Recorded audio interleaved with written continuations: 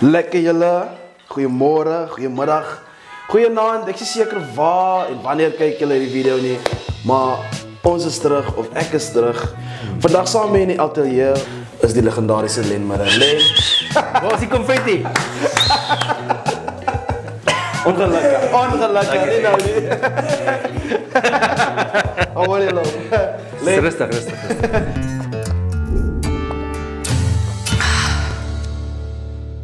Lekker met stres jy? Nee, ou. Dis lekker. Jy wil dit mens gemaklik voel, ou. Ek stres vir jou. Hoe is dit? Ja, Het jy ek van die- stres vir jou. Okay. Want ek het jou dop gehou op sosiale media, sosiale media, my huiswerk gedoen. Ja. En hierdie man is 'n dad joke koning. julle. Toe ek uitvind ek is die een wat hom gaan interview toe. Ja. Ja, dit was 'n bietjie van 'n van 'n skok geweest, maar ons kap hom. Dit is so kap hom. lekker om hier so te Dankie, hê. man. ons Nuwe ateljee man. Baie Dankie. baie welkom. Baie welkom om baie lekker met te wees. Baie welkom om te wees. Jy is ook welkom. Altyd. Moet hy nou drink? Vandag ook maar soos die vorige kere Jy bring jou grappies, ek bring my grappies na die tafel toe len. As ek lag vir een van jou grappe of andersom, dan ek nou 'n shot drink of jy drink 'n shot. Okay. Sit hier so met 'n lekker pink bottel. Ek weet jy of jy hierdie ken nie len, marshmallow pop Marshmallow. fluffy. Hippo. Is dit die hele naam hierdie of wat? Wat gaan aan? Ek weet nie, maar dit lyk of hy dit uit die uh, Barbie movie uitkom. Ek is reg. In watter stad groet mense altyd hulle ma's? Mumbai. Len, Mm. yes, partykeer as ek eensaam raak, smaak ek om so styf vasgehou te word soos 'n poep op 'n eerste date. Jessie. Hardlybig. Ja, ek jy daai gevoel ken nie. Dis amper asof 'n kinkel in die kabel is en 'n groot bottleneck veroorsaak word en Mm. ja, Dis nou. dit is seer. Maar Len, yes, ek het gisteraand begin huil toe ek sien hoe my pa eie sny. En ja, my hond se naam was Eie. Ai. Len, asseblief vertel vir die mense waar kom jy oorspronklik vandaan en waar kom jou liefde vir musiek begin? Waar het alles begin? So ek is eintlik 'n volbloed Natal seun. Ek is gebore in Newcastle, van alle plekke. En ek het die hoërskool klaar gemaak in Richards Bay, so 'n bietjie noord van Durban.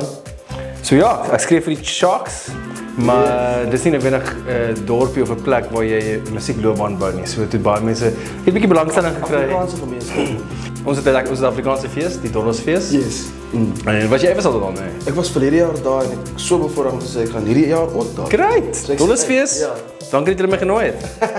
Toe het ek besluit ek wil in die musiekbedryf werk. Ek het 'n passie vir kunstenaars en ek het 'n passie vir die musiekbedryf. En ek het almal ignoreer wat my gesê het jy kan nie 'n lewe maak in die musiekbedryf nie en toe het ek Ja. my tas gepak met my gitare en toe trek ek Pretoria toe. Jy het sopas jou jongste enkelsnit vrygestel. That's it. Weskus wyn. Good point. Loop 'n stroom. Ja, nee, ons is nou juist hier so op op, op 'n wynplaas en 'n wynmaker se huis. Yes. So uh, ek het um, ek het 'n groot liefde vir die Weskus en ook wyn. Maar ehm um, nee, dis 'n plek wat ek ek nog altyd gevoel het ek wil 'n sang oor skryf. Dis 'n Ja. kreatiewe plek. Dit is moeilik om nie inspirasie te kry in 'n plek soos die Weskus nie. Ja. So ja, nee, so ek het ek het 'n regtig 'n ongelooflike 'n liefde vir die plek en ek dink dit is my liefdesbrief basies vir Ja. die Weskus. Ehm so gaan Weskus toe. Dit is beautiful. En luister Weskus wyn. Oral aanlyn beskikbaar. A, a mushroom walks into a bar and asks for a tequila. And the barman says, "Sorry sir, we don't serve mushrooms here." And die mushroom sê, "Hey, but I'm a fun guy." Nee. Okay. Len, ja. 'n man en vrou staan in 'n kerk vir tweelingkinders se doop. Man voel nog babbelas van die vorige aand se sypery. Pastoor vra vir hom Pastoor vra vir hom vir kinders se name. Hy antwoord Steak en Kidney. Die vroutjie stamp hom en sê dis Kate en Kidney. Kate en Sydney. Ek het nou hierdie grap weer. Ek is swak met dit. Ek sal druk net vir daai delivery. Dit was great. Grappe is te. Ek druk sommer 2 ou. Die sin konstruksies. Ah. As dit 'n komma na 'n uitroepteken en Kyk dit. Kate en Sydney. Maar jy het daarom gevang wat ek probeer sê. Ah, laat ek dit druk, maar dit Ek is dink ek wil ek myself straf vir daai ene. Dankie Len. Cheers. Hoe weet julle as julle dalk 'n grappie het wat al klaar vertel was? Uh, ek het dit van nou so. Maar obviously so die gaste. Ag, dis nie bad nie. Ja, dis baie. Ek probeer net dit anders dan. Ja. Ek probeer anders as die eerste keer toe ek hom nog gedrink het, maar is raai. Dis nie bad nie. Klaar nie. What sounds what what's orange and sounds like a carrot? Parrot. ek weet ook nie.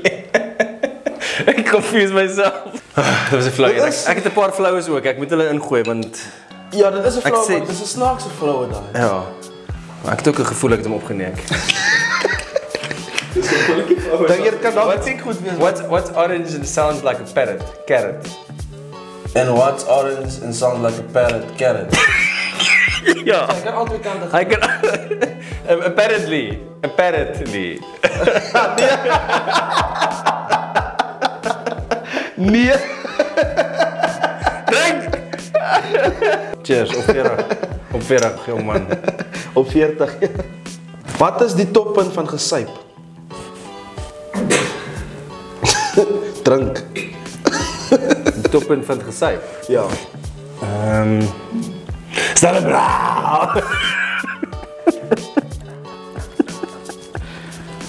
amper reverse my eie joke, maar dit is nie dit nie. Kan seker wees.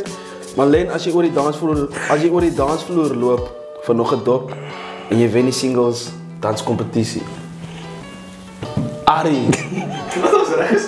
Hoe hoe lees ek vandag? Danskompetisie. Okay, weet jy die original, jy die original grapie hoor, is my ek het hom ek het hierdie dad joke geskryf. En as jy nie lag nie, dan gaan ek Vir grappies ook. Ja, ou, ek ek soos ek sê, die die dad jokes is deel van my op hierdie stadium. So oral waar ek gaan is daar 'n dad joke. Dad joke. Ja, my seentjie het nou 2 geword, so 2 naweke terug. So Yes. So nou oefen ek my dad jokes sodat as hy dit kan verstaan, Ja. dan gaan ek die rockstar in die huis wees want hy gaan lag op my grappies. My ja, my vrou rol net daar oor vir my. my jokes. En as jy op stage is, doen jy op daai keer grappies ook so met die mense? Yes, nee man, ek is baie ernstig op op die verhoog. Is dit? Ja. Op die verhoog stres ek te veel. So ek het nie tyd om te grappie grappie. Ehm um, wat noem jy Wat noem jy 'n uh, 'n pannekoek met ambisie? Panissie. 'n Plannekoek. Jy sê draai my eie reels teen my. Wat? Dis maar die eerste ding wat jy moet leer in die musiekbedryf, leer die reëls. As jy die game wil speel. Ja, in enige bedryf en in hierdie game ook nou wat ons nou speel, Ja. ja. yes. En hierdie bottel wil ook nie sakkie. Daarom is dit nie witblits of iets nie. Ja, dit kon erger gewees Yes, het. dit kon Kyk, dit kon het pas- gegaan het hoor. Ons het laatst 'n shoot gedoen met twee modelle. Toe drink ek vir die eerste keer daai Royal Vodka, die se sterkste vodka nou. Ja man. Nou ek dink toe ja man. Len, Ja. ek is nou nog dronk van Het jy het jy reg gekom met die girls? Nee. Nee, dit was jou kans.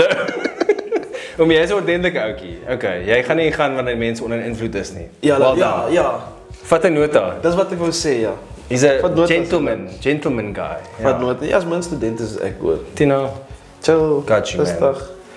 jy gaan dit ver maak. Ek my fokus is letterlik nou net op die studies want ek is klaar besig om to- my ma weet nog nie, maar sy verstaan ook Afrikaans nie. Maar ek is besig om twee vakke te dryf. Mm -hmm. Of ek het klaar twee vakke gedryf. So uh, ja, ek moet net daai nuus breek. Hoe hoe dink jy moet ek dit?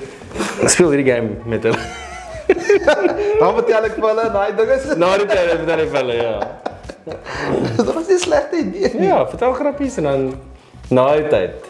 Kies jou kies jou tyd. Timing mooi. Len jy stout. Ek het jou, ek het jou man. Wysheid, kom jy grys. Sien jy nie grys hare hier? Geduld is 'n stadige manier om jou moer heeltemal te strip.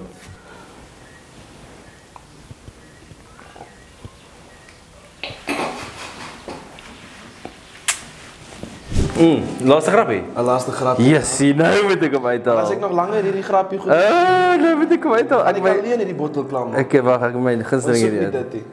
Ehm, Pink marshmallow pop vlak. kat maar kat maar hierdie boarding deel uit. Terwyl ek gou die wenner hier kry. Hierdie is die jy weet soos jy weet soos ehm wat was die onlangse MMA fight? Trikus. Trikus ja. Hier is daai ou, daai laaste wat ek gesien, hierdie hierdie ou is besig om te web, wobble. En hy gee vir my Edes daai laaste. Ja. Ek gaan 'n bietjie sagfies op my nou. Nee, maar ek kom net een keer 'n jaar hierdie kant toe, jy weet so. Wat noem jy 'n span vol varke? Spanspek. Ag. Ja, is laag, is laag. Yes! Die judges het gepraat. Toe wou ek het ook gelag. Dis 'n reaksie. Dit is Spanspek. Jy moet dit sommer sê. Yes, jou arme 2 jaar seentjie. Hey, die ouetjie gaan deurloop. Spanspek. Op wat? Spanspek. Pasweg. Okay.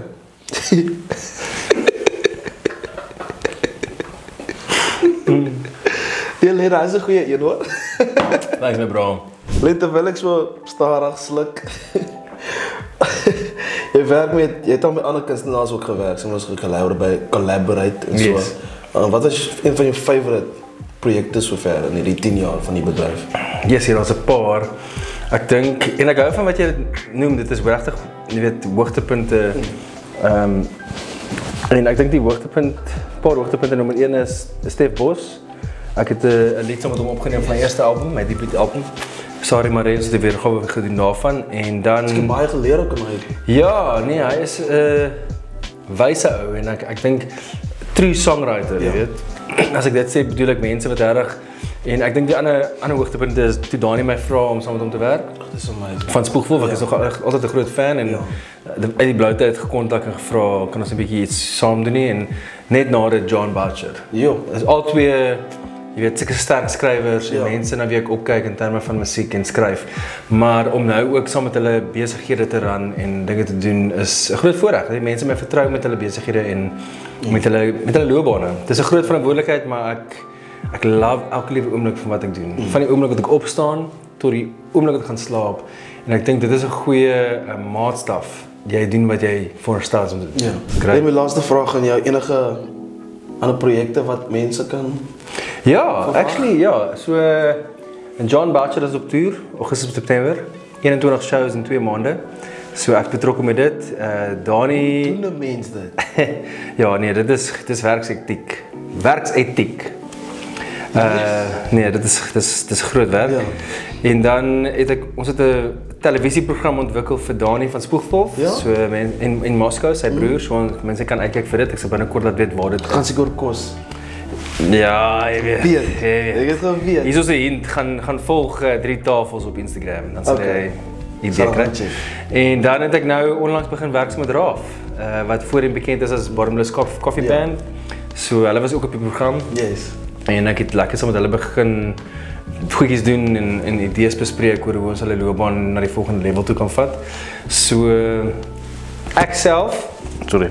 Ek self bring ook 'n klomp nuwe musiek uit vir die einde van die jaar. Ek's nou Augustus is my skryfmaand. So dan sê ek nee vir al die vertonings en ek probeer fokus op my ek nou nog gepraat van selfdissipline. Selfdissipline ja. Ja, dan fokus ek net op skryf en hopelik voor die einde van die jaar het ek klomp nuwe musiek wat ek kan deel met Ja. mense uit my eie pen uit. Leo speel nog 'n laaste enetjie. Yes. As jy nou lag, om jy die hele bottel down. O, Ek jump nee nee nee. Ek wou net sê. Nee, glad nie. Glad nie. Dit was vir my baie lekker om saam met te kuier. Ek hoop jy het dit ook geniet. Alle sterkte vir die jaar verder. Man. Dit is baie besig, maar kap hom. Dankie vir die inspirasie ook en vir al die motiverende woorde in hierdie tyd. Ek waardeer dit regtig man. Plesier man. Right. Ek's 'n fan. Ek kyk uit vir jou. Sterkte met daai album. Baie baie dankie Len. Lekker. Mense kan seker kry op sosiale media, Facebook, Instagram. Ja ja, ek het actually 'n old school we- website. Onthou jy nog daai website? Ja, www. lenmiller.co.za. Okay. So, daar En ons skakel- alles sien daar. Ja. Kijk. En TikTok, ek's ook op TikTok. Amazing. Check hom uit julle. Len Miller.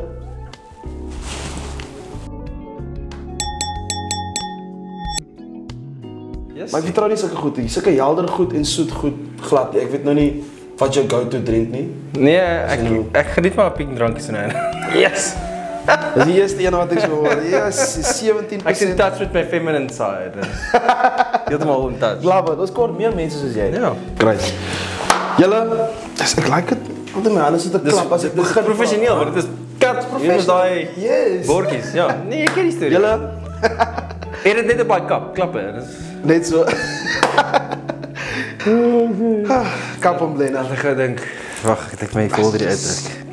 Yes. Wat beteken hy stres? Ek wil net die beste een kies man. Ek was vas op tegen aan gereed knak. Nee.